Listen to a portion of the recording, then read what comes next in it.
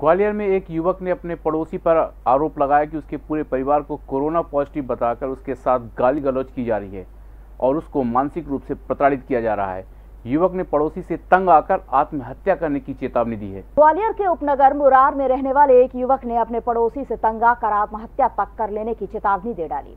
फरियादी कपिल सोनी का कहना है कि उसका बड़ा भाई संजीव सोनी 26 अप्रैल को छोटी बहन प्रीति सोनी को सागर कार से छोड़ने गया था। इसके लिए उसने कलेक्टर से विधिवत ई पास हासिल किया था। देर शाम वे 26 अप्रैल को ही ग्वालियर आ गया। और नियम के अनुसार अपने आप को दूसरे मकान में होम क्वारंटीन कर लिया। लेकिन पड़ोसी मुकेश सोनी उसके पूरे परिवार को कोरोना पॉजिटिव बताकर परेशान कर रहा है और टोकने पर गाली गलौज और मारपीट तक करने पर उतारू हो जाता है। इससे पूरा परिवार परेशान है। मामला संज्ञान में आने पर वरिष्ठ अधिकारियों ने पुलिस को पड़ोसी मुकेश सोनी के घर भेजा और समझाइश दी। मुकेश ने अपनी गलती मानते हुए भविष्य में कपिल और उसके परिवार के खिलाफ किसी भी प्रकार की कोई टिप्पणी न करने का भरोसा दिलाया है। मैं, मेरा बड़ा भाई छः सात दिन पहले मेरी छोटी सिस्टर को इमरजेंसी होने के कारण, मेडिकल इमरजेंसी होने के कारण सागर छोड़ने गए थे ई पास लेकर।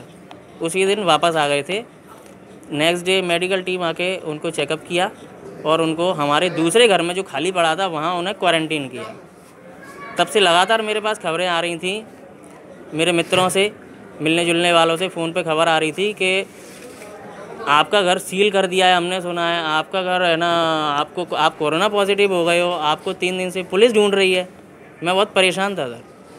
उसके बाद कल मैं सुबह जब फल लेने के लिए घर से बाहर निकला बच्चों के लिए तो श्री मुकेश सोनी जी जो हमारे पड़ोसी हैं, व्यक्ति मुझसे सड़क पे चिल्लाने लगा ज़ोर ज़ोर से कि आप हट जाओ, ये कोरोना पॉजिटिव है, ये कोरोना पॉजिटिव है, इससे दूर हट जाओ। तो सर, मेरे, मुझे बड़ी समस्या हो रही है और बड़ी मानसिक प्रताड़ना हो रही है। इसके लिए मैंने आवेदन किया था मुरार थाने में।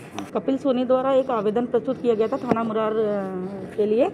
तो additional SP Suman Gurjar madam ने मुझे इसकी सूचना दी कि आप जाइए और अपनी टीम के साथ उस पीड़ित व्यक्ति को देखिए उसको क्या समस्या आ रही है, उसके कॉलोनी वाले शायद उसको प्रताड़ित कर रहे हैं और उसने अपने आवेदन के साथ कई चीज़ें उन्होंने संलग्न भी की थी। शायद उसने जो वायुसेना में जिस उसने आत्महत्या की है, उस पेपर की कटिंग भी संलग्न की थी साथ में। तो कहीं ना कहीं उसके मन में ये भाव आ रहा था कि जिस प्रकार से उसको कॉलोनी वाले प्रताड़ित कर रहे हैं तो कहीं ना कहीं वो आत्महत्या करने के लिए उसको उकसा, उकसाया जा रहा था। तो हम लोग यहाँ पे आए तत्काल उस सूचना पर और हमने इनकी कॉलोनी वालों से बात की, उस पर्टिकुलर व्यक्ति से बात की, जिस व्यक्ति द्वारा उसको कहा गया था कि तुम्हारा भाई कोरोना पॉजिटिव है, ऐसी सूचना मिली और तुम खुले घूम रहे हो। तो ऐसा हमने उनको समझाया कि किसी भी व्यक्ति की अभी पॉजिटिव होने की सूचना नहीं है, ना ही उसकी ऐसी कोई रिपोर्ट आई है।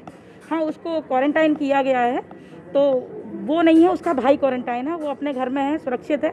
इस तरीके से हमने यहाँ कॉलोनी में और भी लोगों को समझाया है कि जिससे जो व्यक्ति है उनको मानसिक रूप से प्रताड़ित नहीं किया जाए संगीत की स्वर लहरियों से सांस्कृतिक ताने बाने तक चंबल के पीड़ों से नक्सलवादियों के गढ़ तक झोपड़ी से महलों तक ठेलों से मेलों तक पगडंडियों से सड़कों तक गाँव से शहरों तक व्यापार से उद्योगों तक। राजनीति से कूटनीति तक। दखल न्यूज़।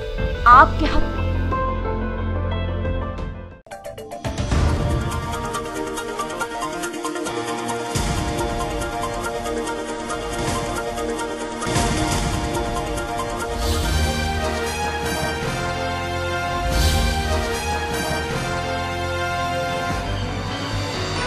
आप देख रहे हैं दखल न्यूज़।